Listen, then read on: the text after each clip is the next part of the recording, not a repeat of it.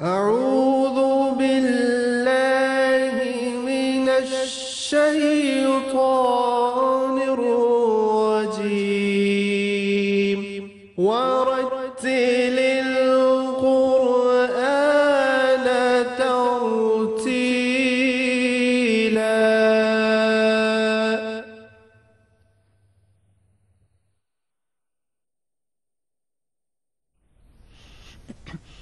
বিসমিল্লাহ রহমান রহিম আসসালামু আলাইকুম ওরহমতুল্লাহ ওবরাকাতু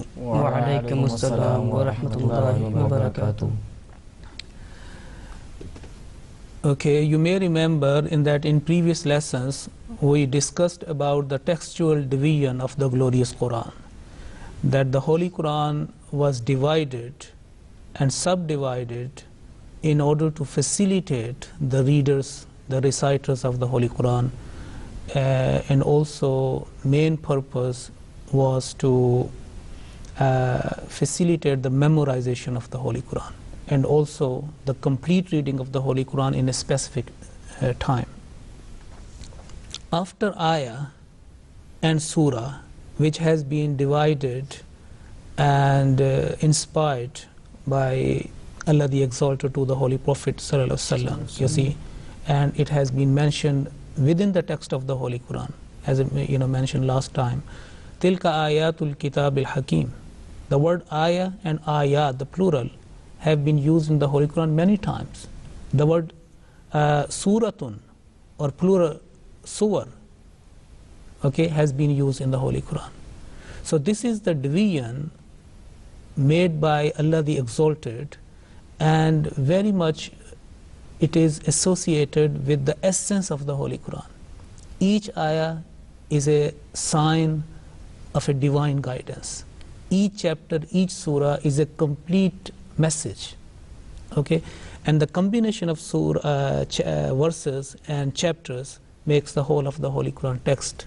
114 chapters and uh, you know the verses 6348 okay so in other words i can say that the holy quran the text of the holy quran has been divided or can be grouped under two broad categories two big groups the division keeping in mind the essence of the holy quran the message and the division which has been made afterwards uh, to facilitate the memorization, the reading of the Holy Quran. You see? And the most wise, definitely, is that division which is made by Allah the Exalted or the Holy Prophet Muhammad Sallam and his uh, mm, uh, companions. Like, for example, if say ayah is the shortest unit, unit then chapter, surah, and then manazil, which is the combination of many surahs. Like, for example, we mentioned that uh, in the seventh stage, seventh station, which is manzil, seven, st- starting from Surah Qaf to An-Nas, 65 surahs are there. 65 chapters, 65 surahs. Now, after that, the word there was a need of time um, because the Holy Quran is part and parcel in as a part of the salat. You see, uh, without reciting the Holy Quran, a salat, a unit is null and void. For example, Surah Al-Fatiha, it is very clearly mentioned in Hadith, uh, Holy Prophet ﷺ, that uh, without reciting Surah Al-Fatiha, uh, salat cannot be complete. And Surah Al-Fatiha is the first chapter of the Holy Quran. And we know that after reciting Surah Al-Fatiha, especially in the first two uh, uh, units of the prayer rakat, uh, some portions of the Holy Quran is recommended. And this is a sunnah to, after Surah Al-Fatiha, recite a portion from the Holy Quran, e- either a small chapter or any portion from a bigger chapter. So it was the need of time that in order to recite the Holy Quran in Salat, we should memorize some portions of the Holy Quran. Ultimately, ideally, every person should memorize whole of the Holy Quran, but it is because it's quite difficult, it's very challenging, okay? Uh, though there is an unbroken chain of memorizers, huffaz, the transmission. the learning by heart is unbroken chain since the birth of Islam, since the revelation of the Holy Quran. Even in now materialistic age, there are uh, millions people all over the world who have memorized from you know word for word and cover uh, to cover, okay, page by page. Now, as I mentioned, that ruku is an important part of salat, and after reciting Surah Al-Fatiha and some uh, portions from the Holy Quran, we go down and go to ruku. Okay. And here, the small section within a chapter, if there is a small uh, chapter, yes, after that, for example, uh, small surahs, in s- part 30, there are uh, 37 surahs. Surah Naba, 78 to 114, Surah Nas, 37 surahs. And I particularly refer to the last 10 chapters, okay, uh, Surah Al-Fil and Surah Quraysh and so and so. And after, for example, Maghrib prayer or other prayer, or when you are doing individual prayers at home or Nawafil, a person who has not memorized long portions, after Surah Al-Fatiha, uh, he or she can um, recite a small surah, small chapter. And after that, he goes to, she goes to ruku. The person goes to ruku. Okay? So that's why that the, the word, the name of that small section comes because of that, uh, you know, the part of salat. Because after reciting some portion of the Holy Quran, some verses, we go to ruku. So the name of that section or name of a small portion has been referred or given as a ruku. Okay, that after certain uh, recitation of certain uh, verses, a person goes to ruku, and it is you know well known and famous in that one.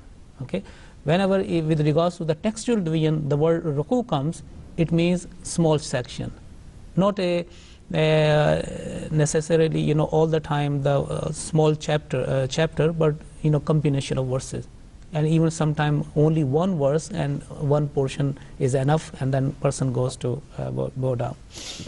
Now with regards to when we find the holy quran from uh, surah al-fatiha to an-nas if you count down because as uh, each chapter bigger chapter, the longer longest chapter, longer chapter have been subdivided into sections. So if you come down from Surah Al-Fatiha to An-Nas, the total is 558. So there are 558, 558 sections or ruku, small portions of the Holy Quran. Okay, and it was more convenient and uh, more uh, easily could be understood when we are uh, offering the Taraweeh prayer, Salatul Taraweeh. or if a person is leading Taraweeh prayer, it is very, very sometimes beneficial to find, because this is just like a small stations. We know that, okay, the, because the memory is just like a, we have the photographic memory if we have the longer portions. Okay, so these are basically a signs of the stations. A person is a traveler, journey maker, reciter, and he say, okay, that uh, I have to recite two sections or three sections, and I will go to the who, and one unit is complete, and then again uh, start. So it facilitates basically if uh, one part is being recited in uh, eight rakat taraweeh, especially, or tahajjud prayer, congregational tahajjud prayer, then it is more, uh, you know, facilitate a, a person so that he know that okay, the, uh, th- this portion is ending here. Now I have to move next and next, and it's easy, easy to uh, uh, focus with regards to recitation and also the memorization. now, in front of you, can find uh, the copy of the Holy Quran, like Yassarnal Quran s- style. This is page number 341, 341, which is you can see here. On top of that, you know, within the text, on the top of that, you can find the word Al Hajj. It means this is Surah. The name of Surah is on the right, Al Hajj, and the next is the letter digit uh, 22. Sur- Surah Al Hajj, 20, chapter number 22 that this is a you know how we getting the information from the holy quran from a page of the holy quran uh, how we get the inf- information with regards to the uh, text you know division of the text so suratul hajj chapter 22, and on, on the left is uh, the para name, name of a part. Now, within the text, uh, this is a part of that 341, page number 341, and on right hand side, you can find the ruku as mentioned like ain. Ain is uh, are basically the four letters ra, kaf, waw, and ain. And the last letter, uh, this ain is uh, uh, denotes or expresses, or basically this is a shortened form uh, to show that this is a section, ruku. Okay, so one um, letter uh, is mentioned. So within this ain sound, ain, there are three digits or three informations have been given. On top of that is uh, digit 9, the number 9. Okay, and top figure, this is basically uh, gives us this information that this is the ninth ruku of Suratul Hajj. Now, in the middle, you can find in the you know in the uh, um, in the middle of that ain sound, it is the number eight. So it means the section nine, ruku nine, has eight verses in it. It contains eight verses. Okay, and on the uh, lower figure, the bottom figure, 16, it means that part number 17, Iqtarab nas this is the 16th sections. Now, as I mentioned about that, there are even small surahs and one ruku. The, the sign of ruku has been put there. Uh, the last surahs, Surah Al Ikhlas, only have five verses. Okay, maybe less than three lines two and a half lines altogether from Bismillah Rahman Rahim Ahad, but one. So it means you can find here 37. This is the 37 sections of part 30. It has five verses, only one ruku. As I mentioned that there are shortest and longest ruku as well within the within a surah, within a chapter. When there is a small surah, as I mentioned, from uh, 80 to 114, there are smaller surah, little bit you know medium size, bigger you know size. Uh, for example, Surah Abasa is uh, about 18 lines surah, okay, but one one section.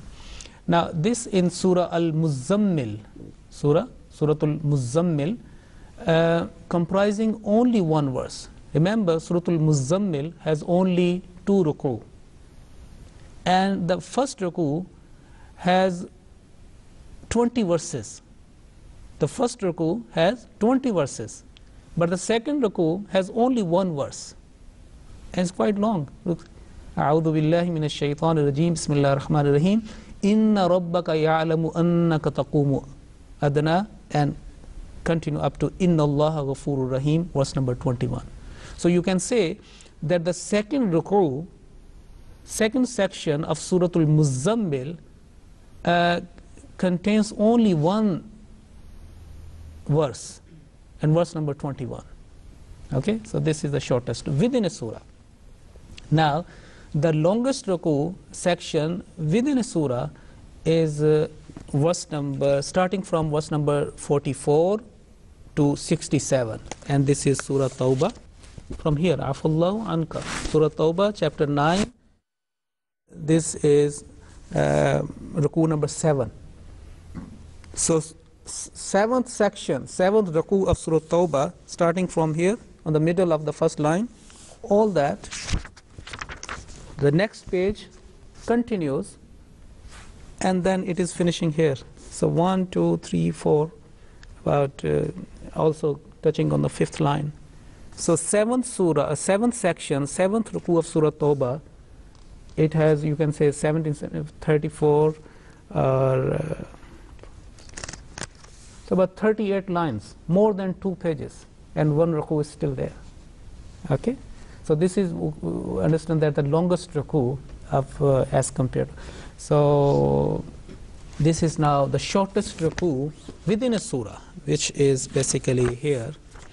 Uh, if you open page number 269, uh, this is chapter 16, third ruku of Surah An-Nahl, chapter 16 verses 23 to 26 only four verses okay now we come to the division by parts as I you know briefly touched in the previous example. So part one is Alif Lam Mim. Okay, this is just a quick, but uh, inshallah we'll recite it properly. Now, Surah Al-Fatiha is one side. This is the index of the Holy Quran, the gist of the Holy Quran. And Surah Al-Fatiha has not been, you know, included in part one. Okay?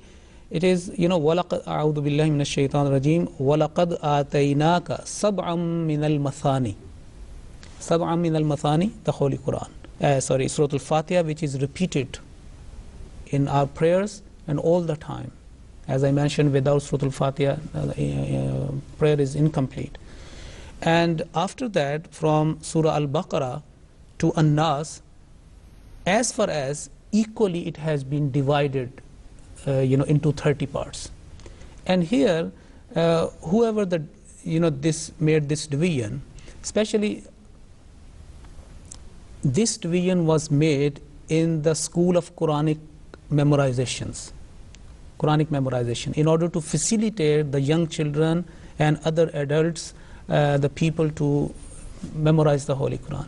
And especially keeping in mind that one hadith also mentions that uh, the Holy Prophet Muhammad advised one of his companion uh, to recite the, to the Holy Quran or to complete the whole the text of uh, whole text of the Holy Quran in one month.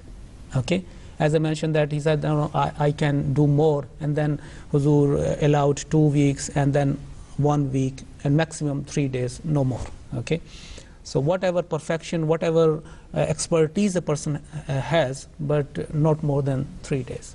So it is mentioned to complete the recitation of the Holy Quran in one month, and especially when uh, in the period of uh, Hazrat uh, Umar radiallahu ta'ala anhu, the system of Taraweeh the Ramadan night prayer was introduced in the you know practice of uh, Islam in Ramadan, then there was a dire need to recite the whole text of the Holy Quran from Surah you know Al-Fatiha.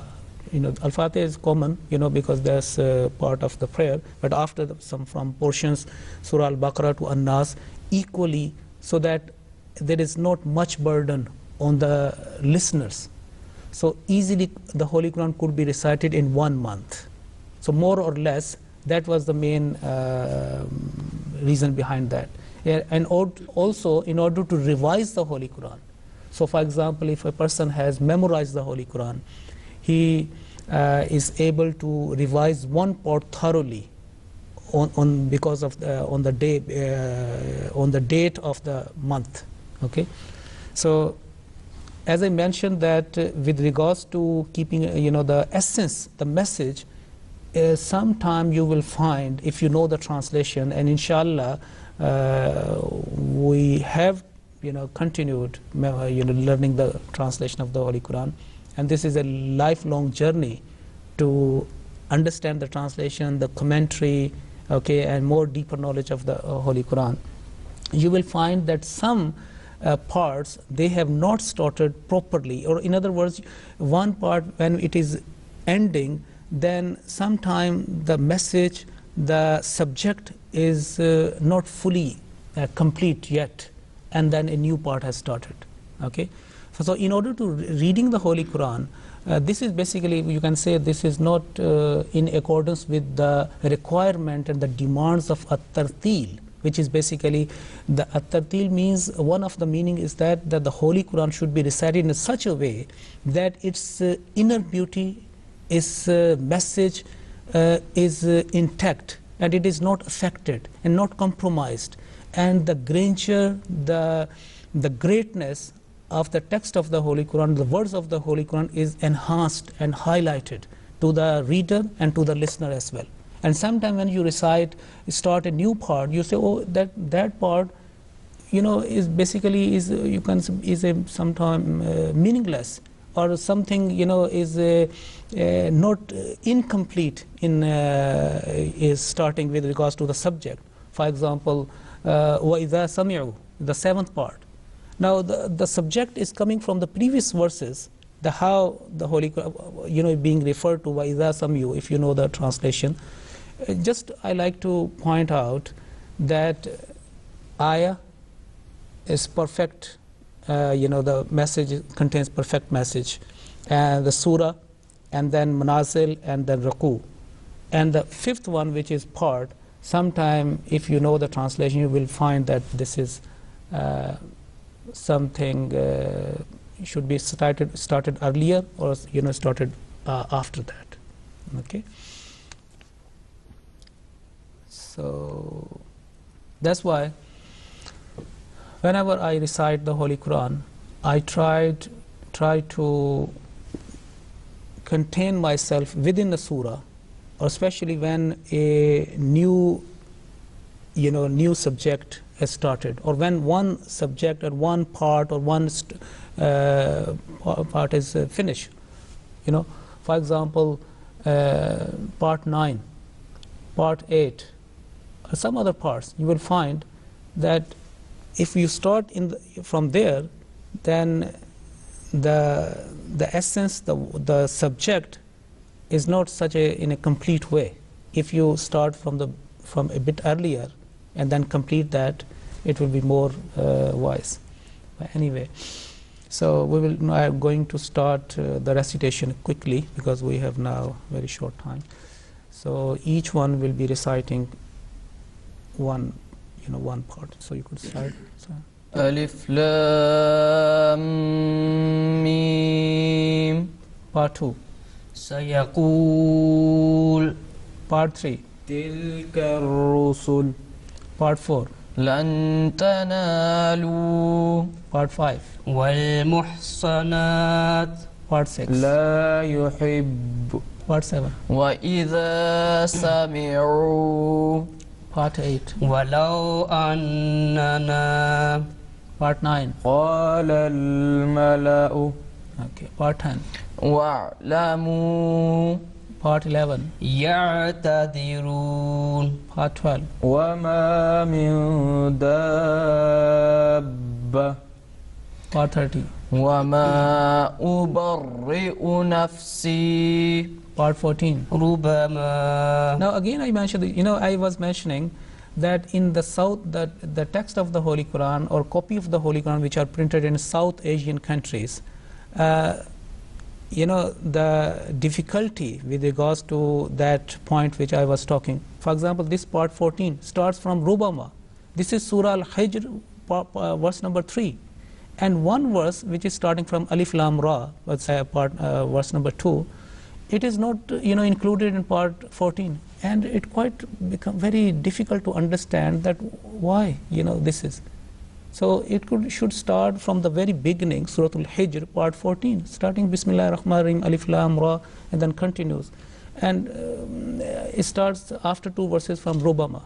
So that's why in some parts of the uh, world uh, some copies of the Holy Quran, especially printed in uh, Damascus or in other, you know, Arabian countries, Arabic countries, uh, you know, this difficulty, as far as possible, has been, uh, you know, addressed. Okay, and they start part 14 or Juz 14 from Surah Al-Hijr, from the very start of Surah Al-Hijr. Okay, and now this is a very uh, divine division, wise division, and the message is quite complete. So this is one example which I was talking about, you know, other in previous time.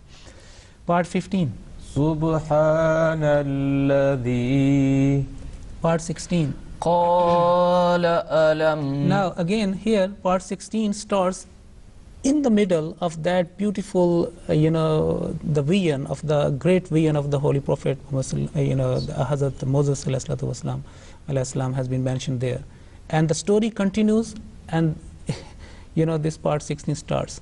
Uh, we don't know if you don't know the translation, then maybe it's okay. Qala alam, okay, aqul laka. But if you know the, how the story is being narrated and told, you will find something has been missing. You know, if you just start part 16, because the whole start uh, story start from Wais Qala Musa, last page of part uh, 15. Part 17, اقترب للناس part 18, قد أفلح Part 19, وقال الذين أمن خلق good. Part 21, أتل ما أوحي Utlu ma uhi. Okay. Part 22. ومن يقنط Qaf qalqala. ومن يقنط. Say again. ومن يقنط Part 23. وما لي Part 24. فمن أظلم Now, now noon followed by Hamza. I think Manan, you do that. فمن أظلم The فمن أظلم the though thick but it is you know elevated okay the the is one of the thick letters permanent thick letters part 25 إليه يرد okay how would you recite m- making a pause on that one إليه يرد okay good part 26 حميم you know that many surahs uh, certain surahs start with hamim but whenever comes to hamim it is part 26 okay surah al-ahqaf 27 قال فما خطبكم okay 28 قد سمع الله 29 تبارك الذي 30 عما يتساءلون okay juz amma juz am or juz amma is very well known because all people uh, you know when there is especially children when they start memorizing the holy quran they start this juz amma because of the small surah. Now quickly i like to tell you that within the parts within a juz the subdivision has been made in order to also facilitate the revision and the memorization and the reading. And the one fourth is called a rubu ar rubu you can find in the you know um, uh, fifth sections of surah al-baqarah. And then an-nisf one half. And the third division is uh, called ath-thuluth. Ath-thuluth. And this is one third. And after that one complete. Last point i like to mention here that you can find this is uh, ruku number 5 finishing here ending here. And this are rubu or rubu rubu has been placed. So it means one quarter is finished. One fourth one quarter is finished. Now sometime the word nisf or unnisf in some copies uh, is placed there and after that uh, section is ending here. So in order to revise the holy quran it is better it, this is you can say just like uh, that this is a earlier indication that now your station is coming. So nisf is basically uh, in acco- you know in the understanding of Huffaz, memorizers, uh, you know comes to here conclusion here. So this you can say earlier indication, a sign that's one thing is coming, one you know journey is making, and the next we have five thuluth, and here was number 110, but the section is ending on 113. So then it completes. As I mentioned that uh, the sections smaller and bigger, the verses smaller and bigger. Okay, uh, su- um, uh, surahs smaller and bigger. Manazil as far as possible equally, but there are, for example, the first uh, mm, manzil is quite a, a bit longer as compared to other. But these one, the parts, as far as possible, equal has been contained. For example, this copy of the Holy Quran, which is very easy to and widely used in our Ahmadiyya world, each part 20 pages. 620 multiply 30, 600 pages. So it means each part contains 20 pages. Okay, so that's why the memorization, the revision with the photographic memory is very easy on that one. So this is the conclusion of the textual division of the glorious Quran.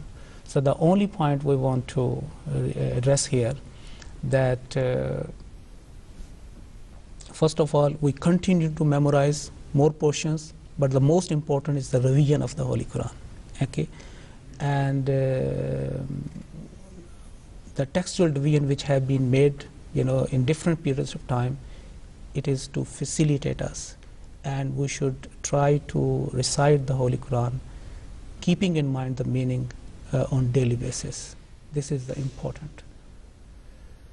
تمت بالخير. كان الله معكم. السلام عليكم ورحمة الله وبركاته. وعليكم السلام ورحمة الله وبركاته.